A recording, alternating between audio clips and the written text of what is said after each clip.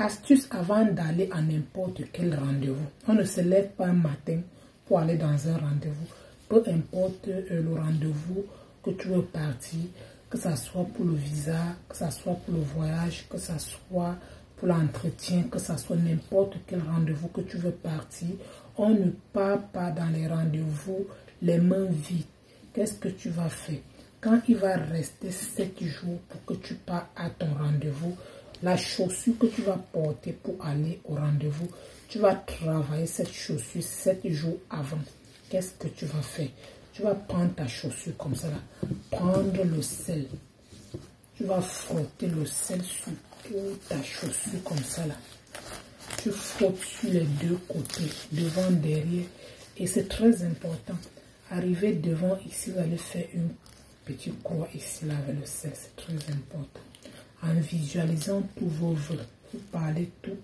Et quand tu finis, tu vas prendre cette clou de girofle. Tu vas mettre sur chaque paire de chaussures. Ça doit venir jusqu'au fond ici. Et tu vas rentrer. Tu prends une feuille de laurier. Tu écris tous tes vœux sur ça là.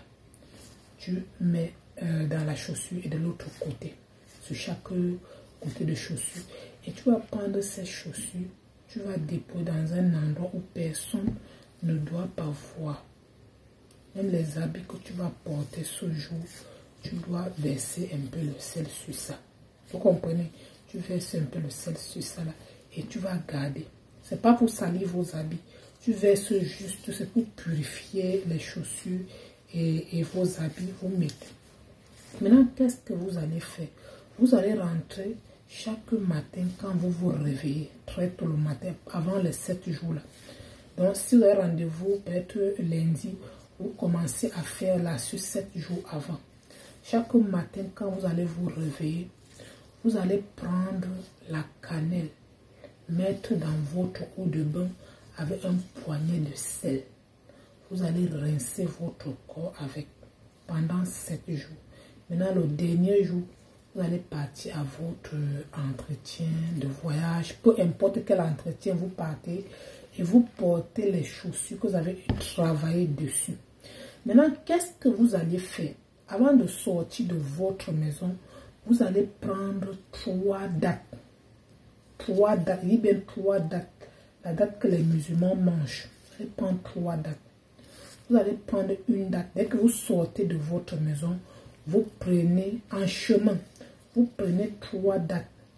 Vous allez parler sur les dates vous lancez une date derrière vous, vous lancez une date devant vous et vous mangez une date. Pendant que vous mangez, dites ceci, que où vous partiez, que tout soit sucré comme cette date, que tout ce qui va se passer là-bas soit en ta faveur. Vous parlez ceci, parlez tout. Vous allez revenir ici là faire votre témoignage. Allez-y faire cette astuce et revenez faire votre témoignage sur mon numéro WhatsApp qui s'affiche sur l'écran.